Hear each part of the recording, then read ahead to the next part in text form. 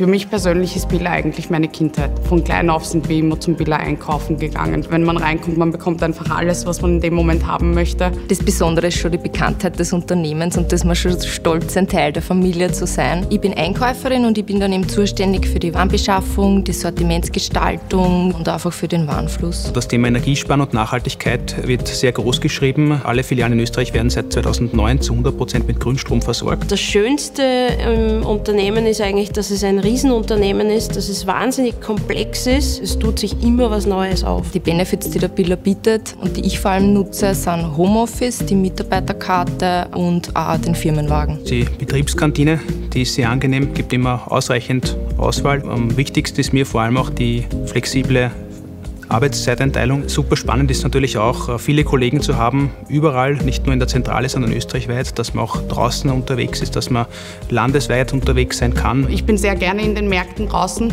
Meine Hauptaufgabe ist es, die Mitarbeiter einzuschulen. Jede Filiale hat seine eigenen Bedürfnisse oder braucht in einem anderen Bereich ihre Unterstützung. Ich bin Obst- und Gemüsefrische Managerin und das schon seit fast fünf Jahren. Organisiere Schulungen für die Mitarbeiter, schule sie ein auf bestimmte Tätigkeiten. Es gibt im Unternehmen immer wieder Fortbildungen und ähm, Ausbildungen, die man wahrnehmen kann. Und es gibt aber auch die Möglichkeit für mich, wenn ich jetzt in einer externen Ausbildungsstätte was finde, wo ich sage, das würde mir jetzt in meinem Beruf gerade weiterhelfen, helfen, dann wird mir das auch immer ermöglicht, dass ich diese Kurse wahrnehme. Man kann sie in diversen Abteilungen weiterentwickeln.